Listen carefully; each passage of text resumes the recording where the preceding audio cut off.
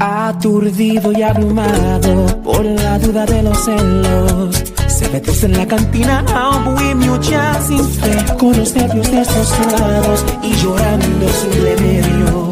Como loco. Una noche como un loco, mordió la ropa de vino y hizo un corte